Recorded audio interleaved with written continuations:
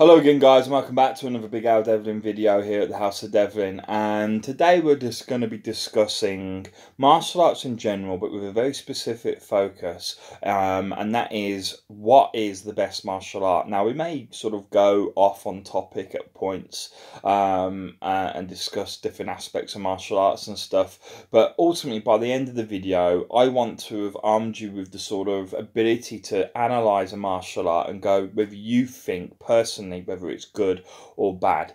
I'll give you my answer right here, right now, and that is is that all martial arts are equal in many respects. Okay, they all have something to offer, and because we're all individuals, we all want something different out of what we do. Okay, like for myself, I like my martial arts. I used to like my martial arts to be um, ones that focused on winning winning ring fights.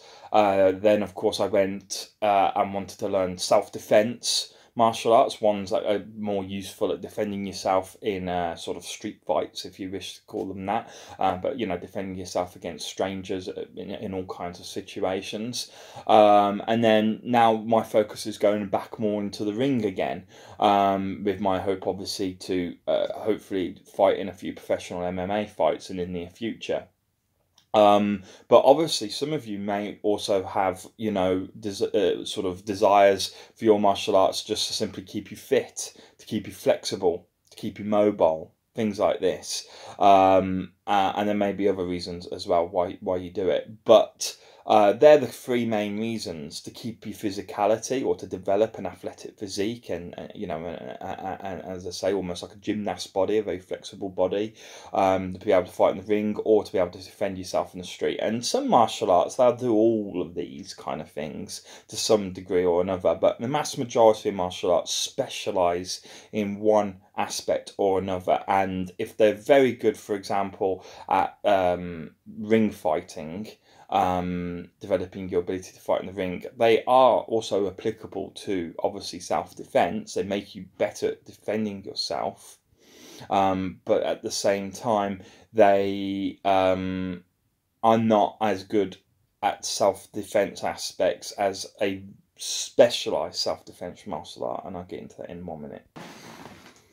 And of course, I suppose the most classic self defense um, martial art. Well, not most classic, but the most popular, most well known uh, self defense martial art out there is Krav Maga, which is a sort of de- uh, martial art developed by the Israeli Special Forces and has been sort of filtered down into the into the public over time. Um, but this is more, in my personal opinion, a mixed martial art. It's a martial art in its own sense, in the sense that it's got its kind of its own syllabus, if you wish. Um, and not that I would, you know, what makes a martial art it has a syllabus. No, and you don't look at that. But but but what I'm trying to say is it, it is a single. You know, you teach it um, and all these moves together at the same time. But really, in my personal opinion, Krav Maga is really just mixed martial arts. It's it's where you're learning to fight with a variety of different fighting techniques um, that have been pulled from things like boxing, um, uh, kickboxing, um, jiu-jitsu, jiu jitsu. Sorry, I do struggle to pronounce that one. You know, some of the more oriental uh, martial arts, like possibly karate and stuff like this, and they kind of put them all together into one package. So it is a martial art officially, um, and in that case, I would actually say my my answer on what is the best uh, self defense martial art out there. Um, I would have to say Krav Maga has a real, real strong standing, you know, real strong argument saying that that is its bet, the, one of the best. Myself personally, I prefer Pammachon Pankration, which is the martial art that I, one of the martial arts that I know, um, and it is um, very brutal, and it's what a lot of Krav Maga has kind of taken from. Um, uh, I don't know if it's taken directly from it or taken away from it. Uh, some of the martial arts that themselves have taken away from Pammachon Pankration because Pammachon Pankration is um, a very, very old martial art. It was developed by the ancient Greeks um, and it was designed to be used on the battlefield. So these are the kind of martial arts that I like. Martial arts that have been designed to be used on the battlefield um, to either kill or disable your opponent, um, and to also be able to defend yourself uh, potentially against weapons. Ultimately, um, because of course on the battlefield there were back then they would have had swords, knives, spears, or the whole lot sort of thing. And the whole idea of Pammachon Pankration was it was a backup um, tool essentially for for for Greek warriors Greek hoplites um, that um, if they became disarmed uh, of their sword or the spear. They didn't typically use spears back then, um, uh, but they would add a backup spear or uh, sorry sword or, or knife. If they've lost all their backup weapons, or they just literally have to act in the opportune moment, it just presents themselves, um, then they would use this martial art that they they all learnt, Pammachon Pankration, and it's designed to basically obliterate your opponent as quickly as possible. There's no bars held, uh, as you can imagine, for martial arts being designed to be used on the battlefield. It's there to gouge eyes out. It's there to uh, to to to crush the windpipe, um, to strangulate, um, and to decimate uh, uh, joints like the knees. So it's a lot of stamp kicks, things like this. Um, so it's there to disable and ultimately then kill your opponent with your bare hands. And it, it, it allows hair pulling, it allows anything, everything and anything you want to do, including headbutts and everything, are, are essentially in theory allowed within the martial art. And of course, there are moves that are and defensive uh, moves also offensive and defensive aspects to the, the martial art that allow you to for example if someone tries to strangle you they grab you around the throat how to get out of that? So easily. Um, but Pammachon Pankration instead of using the traditional more defensive well where you just push the hands together for example and I'll do a video more on that kind of self-defense. They just uh, Pammachon Pankration the, the approach is and a very offensive one where you go in the inside of the arms of the opponent and uh, of the person who's strangling you and you go straight for their eyes and gouge their eyes out. So i mean it's a very very brutal martial art that you cannot use the majority of in the ring. It's actually too good at self-defense to be used in the ring because the ring ring ring sport that's that's what they are. They are sports.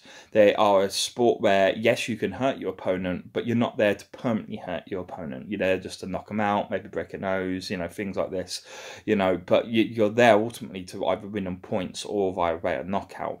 Um, you're not there to win, but because you've blinded your opponent or something along these lines. So, or you've you know broken their leg, which which is you know a brutal way of looking at it. But that's why you know for a while I, especially and i still have a significant interest in, in, in these kind of martial arts um, i have a, a, very you know very strong interest in in sort of what i would describe as the self-defense martial arts.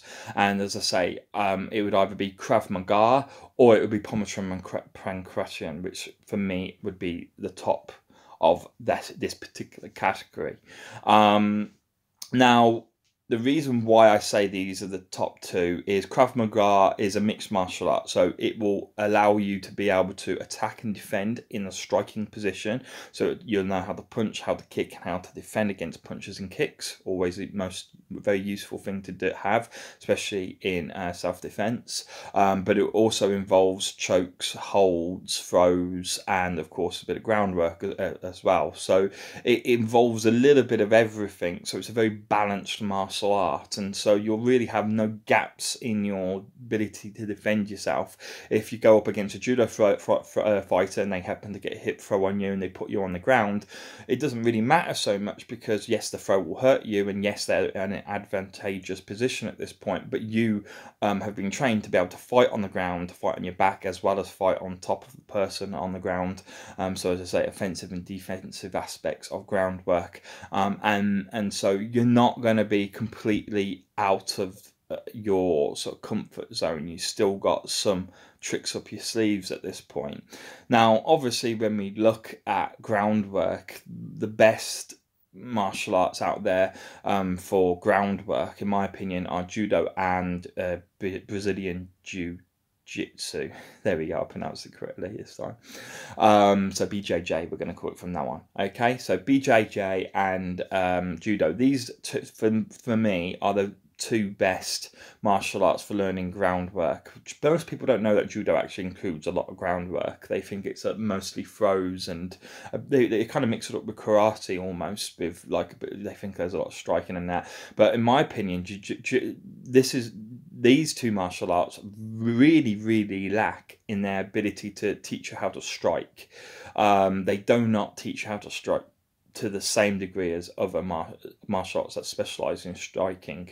And so there's a big, massive gap in BJJ and judo, in my opinion. I mean, they, they are amazing up close, as I say, on the ground, but you've got to bring the fight to the ground or into a sort of grapple uh, for you to be able to do any of the moves that essentially you've learned in BJJ or judo that kind of makes you special compared to another person who knows another martial art, for example. Um, and so, really, we're getting into sort of ring fighting uh, martial arts now, um, of which obviously um, I know quite a lot about. Um, my martial arts, just so you know, Pammachon Pankration I've already mentioned.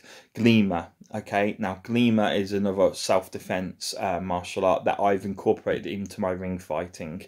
Glima is, um, it, it means flash, also essentially quick um, in in the old tongue of uh, the old Nordic tongue, and it's um, the martial art that is used by uh, was used by uh, the Vikings essentially, the Nordic people, the ancient Nordic people, um, but specifically the Vikings would have trained in Glima, and obviously you know the original Glima would have taught you how to fight with an axe, a shield, um, it would have taught you how to um, um, how to essentially kill your opponent using weapons and how to defend yourself against weapons.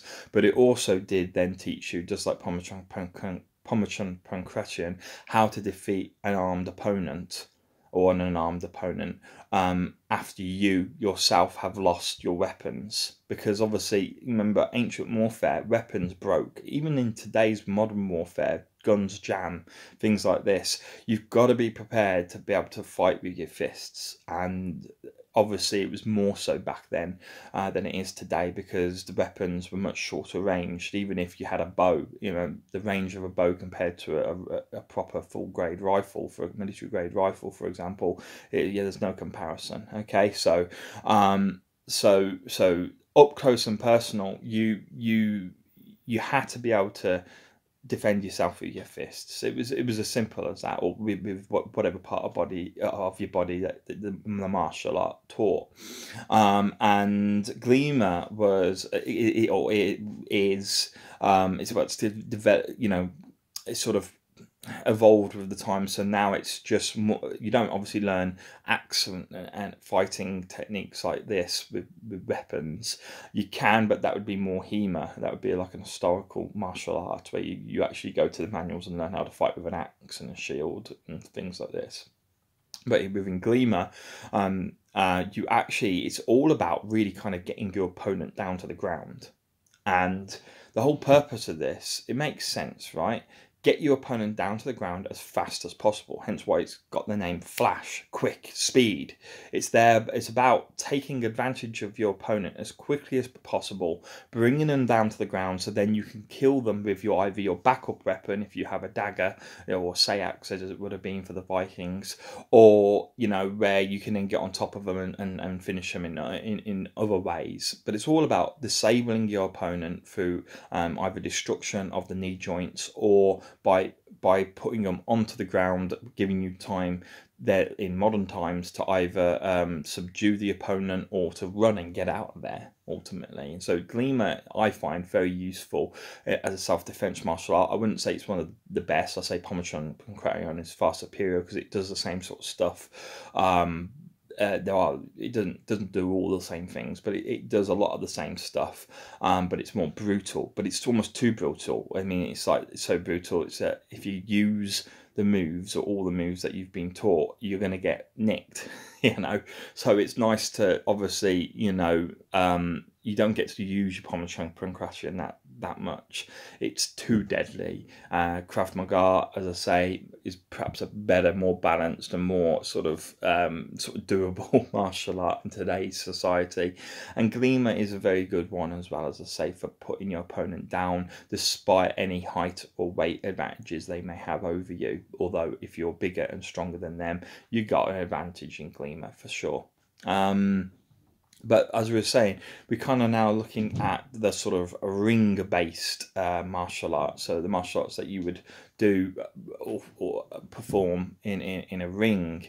And we've discussed BJJ and Judo. These are good, but they have big gaps. They need to be combined with a striking martial art. Out of the striking martial arts, my my top ones would be Muay Thai, which is what I'm I'm trained in. Um, that's my my primary martial art, um, and boxing, which is something I've I've also been trained in since I could walk because it runs in the family. My my grandfather was a uh, seeded ninth in the world, believe it or not. So it runs in the family. So I haven't had any formal training from a boxing gym, but I've had training obviously through the family um, in boxing.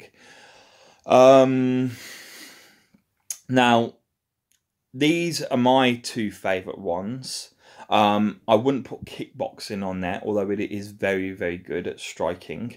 Um, but simply because it relies too much on its points. So when it goes up against in its point system, and it, when you go up against um, um, another martial art that's very similar, like Muay Thai, for example, that has a totally different point system. That's more about just taking your opponent out, then rather than throwing a certain particular kick and landing it in a very specific manner, um, it, it, it, it, it's going to struggle that little bit more um, if they you go in with the mentality that obviously you've been taught. Um, so that's why I would put it in the sort of underneath boxing and um, um, Muay Thai. I think Muay Thai is a superior martial art to kickboxing, even though it's basically the same. Because Muay Thai is otherwise known as Thai kickboxing. It's a form of kickboxing essentially that just evolved in Thailand rather than in in in Europe. Um, and of course, you would also have to put into here into the, the one of the top ring fighting um, uh, martial art. Yeah, you'd also have to put into here um, um, Greco-Roman wrestling and other, you know, uh, type of wrestling like like like that but i would say greco-roman wrestling um, because these are again very good at getting your opponent down to the ground.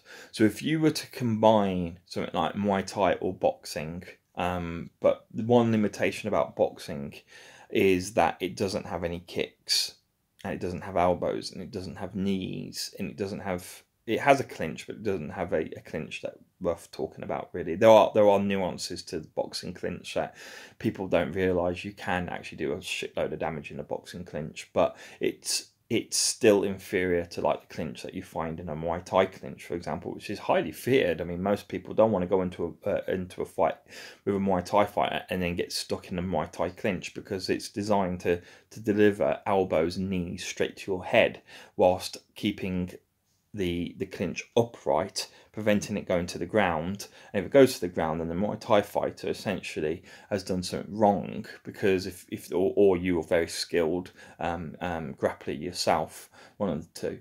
Um, and so you know you've got to look at the sort of that. But the reason why I put boxing at the top is is it's just, in my opinion, one of the most devastating, striking, specialized sports out there. I mean, the mass majority of the time, when you look at fights, it is a lot of punches. And I don't mean fights in the ring necessarily, but certainly, you know, it overlaps well with self defense. Um, if you're a good boxer, you're going to be a good street fighter as well. You know, you're going to be a good good at protecting yourself against the muggers. Someone comes up and tries to mug you, and you're top top class boxer, that you you're gonna win. You know, you're gonna win. You're gonna defend yourself. You're gonna keep your mobile and your wallet and everything.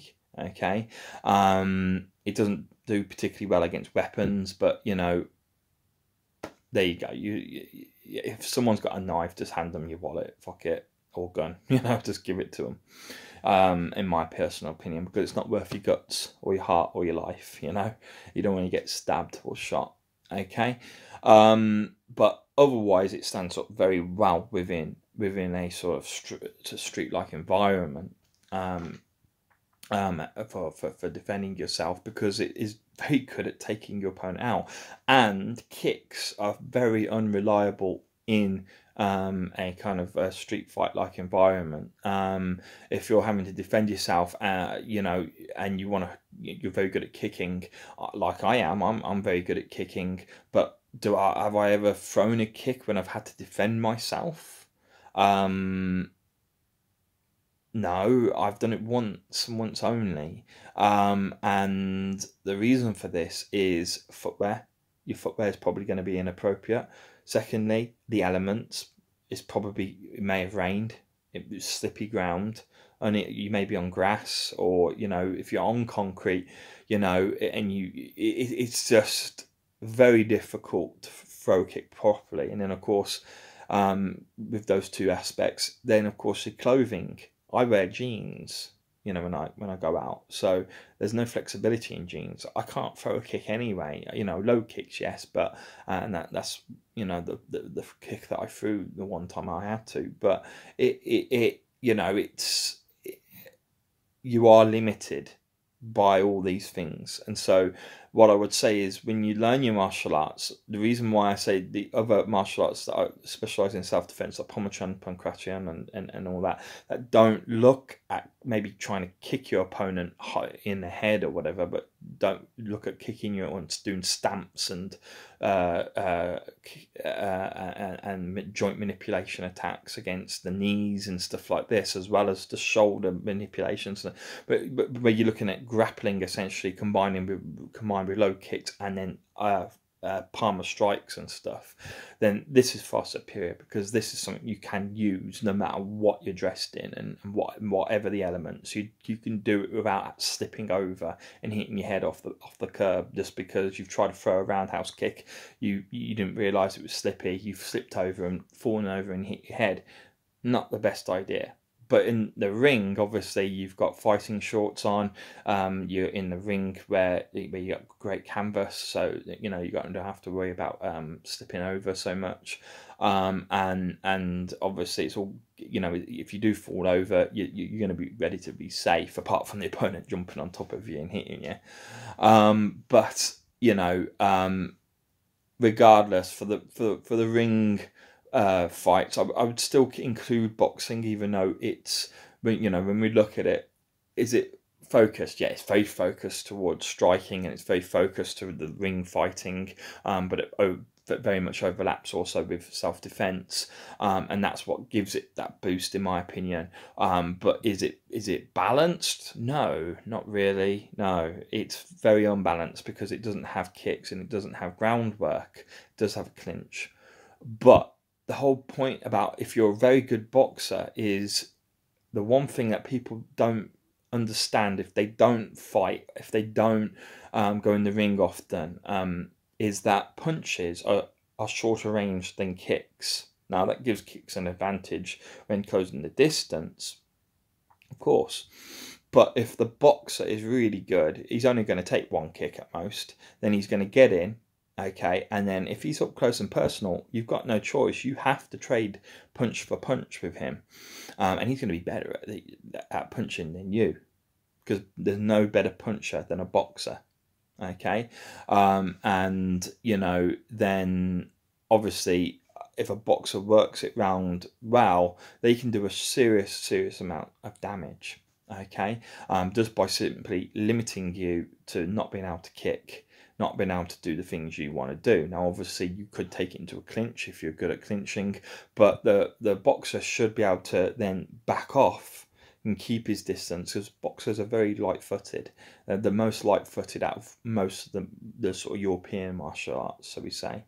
Um, now, um, the I know I haven't really given you an answer then as to which is the best martial art out there. And as I say, my personal answer, in regards to creating physicality, every martial art does it. Okay, everyone is, is very good. Uh, and I know there are some Oriental martial arts that are particularly good at it, um, but but I have no really experience with them, so I'm not going to talk about them. But every martial art is good for your health, good for your fitness, good for your conditioning. Um, but really, I mean, I know some people are going to be putting in the comments some martial arts that they think are are really good. And please if i haven't mentioned them or i actually am about to go for the ones that i think are lesser martial arts it's not it's just my opinion. It's not fact Okay, so have a discussion with me. Don't get pissed off just because I've mentioned something that perhaps is against what you think. I, I mean no disrespect whatsoever um, uh, in, in the next few minutes. Martial arts that I don't like. Well, personally, I don't like BJJ. Okay, I respect it and I'm wary of it. Okay, um, but I don't really like it because I find it very boring. I find it very pernickety. I find it's very technical and you have to be a bit of a nerd really to, to really get into it properly. Um, that's not a bad thing. It's not a bad thing at all. I'm actually complimenting it. I'm saying it's really good. Um, and there's a lot of depth to it. So yeah you know so it's great to commit yourself to this martial art for years and years and years because you can still learn stuff within the martial art. It's not it's not a basic martial art by any means. It's very in depth but it's just for me it doesn't fit it doesn't fit my mindset. And so this is why when you come to argue what you think the best martial arts out there at maybe striking sorry at ring fighting um, and with that within striking and groundwork and grappling for example you could subdivide them. And then you look at like self-defense martial arts and you can again subdivide them into different things such as those that which you know um, disable your opponent with like joint manipulation and submission techniques others that through striking others through whatever. Um, you're going to obviously get a different answer simply because you've got a different opinion on what you like to see. Now i have a, a, a passion for striking so hence why my my uh, answers are going to always going to be towards things like Muay Thai, boxing, as I say. Um, I love joint manipulation, so hence why I like my Pammachon and, and, and Glima and stuff like this. And, and I like throws, um, but I don't like groundwork. So there you go. Now you can probably see why I've formulated my answers in the way that I have. Um, and I know that these work together, when you combine these martial arts together, they work very well. Um, and I have learnt a bit of BJJ. I've done BJJ in the past, but only enough to learn how to defend myself, really. Okay, so I know what an arm lock is. I know how how people slap on ankle locks and triangles and all the rest of it, rear neck chokes and all the rest of it. But uh, and I have sometimes used. I, I use a rear neck choke. That's the only sort of submission that I would use. Um, I use it quite a lot, in fact. Um, but I don't like to do um, any of the others simply because, in my opinion, um, I'm I'm just not experienced enough at doing it, and I'm not flexible enough, and there are other ways in which I can take my opponent out, and that, as I say, ground and pound, things like this, and slamming the opponent, and just using my physicality. Um, but smaller fighters, definitely, I would recommend BJJ and judo, um, as I say, because they give you um, uh, the ability to, to defend yourself much greater than you than a lot of them martial arts against bigger opponents. So someone if you go up against someone like me and say you weigh twelve stone, well I've got a six stone advantage on you, and I've also that's such that six stone is you know mostly muscle and bone, so it's it's hard. You're not going to really strike me out because your punches, yeah, they might hurt, but then you know I've been hit by little guys before, um, and they don't hurt enough. Let's put it that way. So the only way to bring me down is to put me on the ground at, on the ground, I'm the same height as you. Okay, my body weight means nothing as long as I'm on my back. If I'm on top of you, then there's a that's a whole different ball game. My weight means a lot, but but if you put me on my back, I've lost my my physicality advantage, which I will require. I I do use it. So it's a great martial art, BJJ, um, but it's not for me. Um, the martial arts that I don't really like is uh, kung fu and a few of the oriental martial arts like that. I mean, I started off with karate, Shotokan karate. There is value in all these martial arts because they're actually very good at creating the physicality aspects. And I would actually start off with one of the oriental martial arts because they do require a lot of flexibility and a lot of, you know, a lot of conditioning. Um, so I'm not poo pooing them by any means. I would actually say that Shotokan karate is not that useful. Um, in fact, I would never go in the ring if I had, only learned Shotokan karate. And yes, I would be able to defend myself better on the streets than the average Joe gun if I'd learned Shotokan karate, but I wouldn't necessarily be as good as, you know, I wouldn't be anywhere near as good as what I am at the moment. Um, and so the Oriental martial arts as a whole, for me, are not as good as the Western European ones. Um, but I, you know, again, it's just a matter of opinion, you know, and it's also remember the martial art is not just the martial art itself, it's the martial art plus the person doing the martial art. And so if I was to go, for example, I don't rate Kung Fu at all. Okay. Um, if I heard I was going up against a kung fu fighter, great. I've done it before. I have fought a kung fu fighter and I, smashed the shit out of them in the ring, right? But if I heard, and so I'd be jumping for joy if I if I heard that I was going up against a kung fu fighter. But um, if I heard that that kung fu fighter was Bruce Lee, I would be crapping. man. I wouldn't be crapping myself because you know at the end of the day you got to do what you got to do. I'd get in the ring and fight him, but yeah, you'd smash the shit out of me okay, using kung fu. So you understand my opinion. It's very hard to answer the question, what is the best martial art? But if you're going to go, go, go, because because we're all different, we all want different things out of it, and we all have different skill levels, and we can all make whatever martial art we pick the very best thing out there if you're just that skillful. Like as I say, so like someone like Bruce Lee. But um, really, you need to just look at subdivision. What do you want it for? The ring, or the street, and then do you want it to be um, striking, grappling, or, or, or groundwork? Um, in which case, um, striking and grappling, I'd say Muay Thai because it covers both of them uh, and it does particularly good in both aspects, um, but it has zero groundwork. Obviously, if you want groundwork, put BJJ with Muay Thai, you've got a perfect balance then.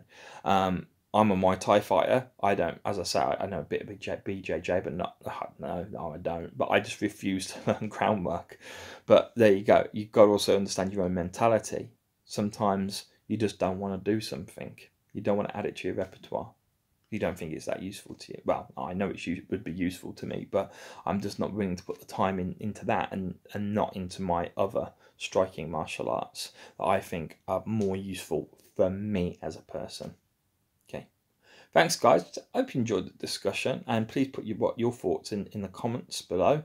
Uh, I'd love to hear them. Um, and if you disagree with me, that's fine, not a problem. Um, um, this is not an argument; it's a discussion. So please put them in the comments and and tell me the reasons why you disagree with me. Thank you, and uh, goodbye.